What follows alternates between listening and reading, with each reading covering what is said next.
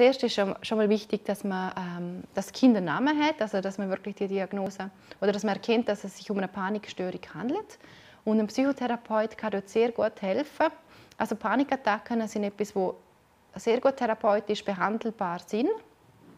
Also es geht dann dort so in erster Linie darum, um die ähm, ja, um das individuelle Modell zum Aufschlüsseln, wo man da hat, also aus Gedanken, wo, wo noch fördern und dann vielleicht Verhaltensweisen, wo man sich dann aneignet, wo um sich der Angst zu entziehen, indem man zum Beispiel sich nur die Situation gibt.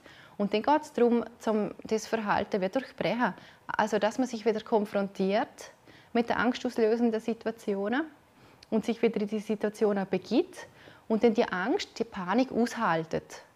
Also es geht darum, dass man lernt, dass man die Erfahrung macht, dass Panik irgendwann vor selbst wieder abklingt. Weil man neigt ja dazu, wenn man Panik hat, dass man sich dann selbst aus der Situation begibt. Also dass man sich entweder ablenkt oder wirklich ähm, ja, zum Beispiel gerne um ins Theater geht, aus Angst, man könnte Panikattacken haben. Und da, bei der Therapie geht es einfach darum, dass man sich dem still, stellt und einerseits lernt, dass die Angst von einem selbst wieder abnimmt aber auch die Erfahrung macht, dass die schlimme Katastrophe, die ich mir ausmale, also dass ich zum Beispiel für alle Leute ohnmächtig wäre und mich blamiere, dass das gerne eintreten. Und so kann man lernen, die, die Panik anders zu bewerten ähm, ja, und sich dem zu stellen.